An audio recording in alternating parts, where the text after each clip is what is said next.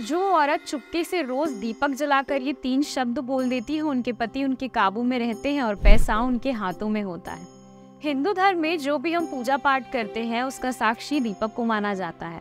और प्रत्येक घर में हर रोज दीपक जलाने का नियम भी बताया जाता है। तो अगर आप एक महिला है और अपने घर में लगातार एक, दो या तीन या इससे ज़्यादा की संख्या में दीपक हर रोज जलाती होंगी तो क्या आपके घर में पैसों की तंगी रहती है? आपके पति का पर्स हमेशा खाली रहता है? आपकी झोली में धन नहीं टिकता।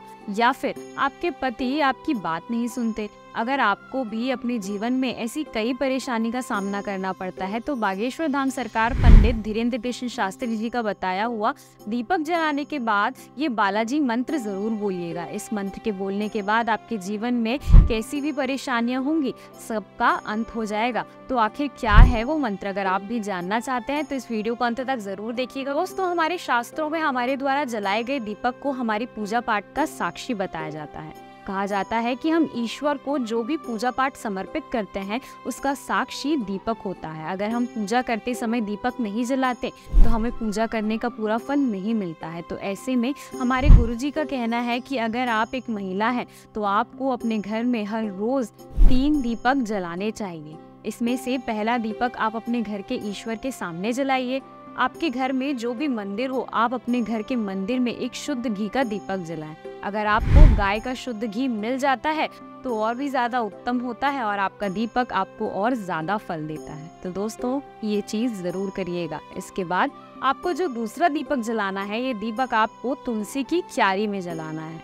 अब जितना ज़रूरी हमारे घरों में मंदिरों का होना होता है, उतना ही ज़रूरी तुलसी की क्यारी का होना होता है।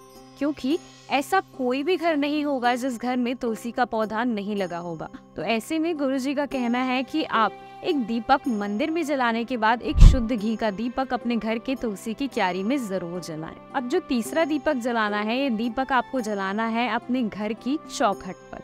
लेकिन आपको एक बात का ध्यान रखना है कि मंदिर में और तुलसी की क्यारी में आपको शुद्ध घी का दीपक जलाना है। लेकिन जो दीपक आप अपने घर की चौखट पर जलाएँगे, ये दीपक सरसों के तेल का दीपक होना चाहिए। इस बात का आपको ध्यान रखना है। तो गुरु जी ने बताया कि महिलाओं को कितने दीपक हर रोज अपने घर के मंदिर में जलाने चाहिए। अब आपको बता देते हैं कि गुरु जी ने कौन सा वो चमत्कारी मंत्र बताया है, जो आपको दीपक जलाते समय बोलना है।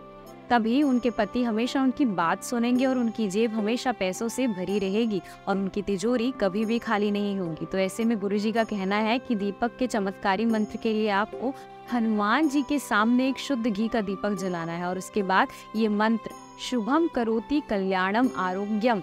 धन संपदम शत्रु बुद्धि विनाशाय दीपम ज्योति नमस्तुते। का जाप आपको पाँच बार करना है। इस मंत्र का अर्थ है कि शुभ और कल्याण करने वाली, आरोग्य और धन संपदा देने वाली, शत्रु बुद्धि का विनाश करने वाली दीपक की ज्योति को मेरा नमस्कार। इस मंत्र के प्रभाव से आपने जो दीपक जलाया होता है, ये दीपक सिद्ध हो जाता है और उसके बाद आप हनुमान जी से जो भी मनोकामना या जो भी मन्नत मांगते हैं, हनुमान जी आपकी उस मन्नत को पूरा कर ही देते हैं। गुरु जी कहते हैं कि अगर इस उपाय को आप करना चाहते हैं तो इस उपाय को आप किसी भी मंगलवार वाले दिन से शुरू करिएगा, क्योंकि मंगलवार का दिन हनुमान जी का दिन माना जाता है। और मंगलवार वाले दिन से जो भी भक्त हनुमान जी की पूजा सेवा करते हैं, ऐसे भक्तों के जीवन में बालाजी महाराज अपनी कृपा हमेशा बनाए रखते हैं। तो दोस्तों, उम्मीद करते हैं कि अगर कोई परेशानियाँ आपके घर में चल रही है, आपके घर में भी पैसों की वजह से अनबन बनी रहती है तो आप भी गुरु जी का बताया हुआ ये उपाय ज़रूर अपना के देखेंगे। और दोस्तों, कमेंट बॉक्स में अपनी राय ज़रूर शेयर शेयर कीजिएगा और बालाजी महाराज की कृपा इस उपाय को करके प्राप्त करिएगा। तो दोस्तों, उम्मीद करते हैं कि ये वीडियो आपको पसंद आई होगी। वीडियो पसंद आई होगी तो वीडियो लाइक कीजिएगा और इस वीडियो की जानकारी सभी लोगों को ज़रूर शेयर कीजिएगा। दोस्तों, इस वीडियो में दी गई सारी जानकारी हमने इंटरनेट के माध्यम से ली है। इसमें हमारा कोई भी हस्तक्षेप नहीं है। इस वीडियो का मकसद केवल आप सभी को पूरी जानकारी देना है, ना कि किसी की भी धार्मिक भावनाओं को ठेस पहुंचाना। वीडियो को अंत तक देखने के लिए आप सभी का धन्यवाद। तो मिलते हैं अगले वीडियो में।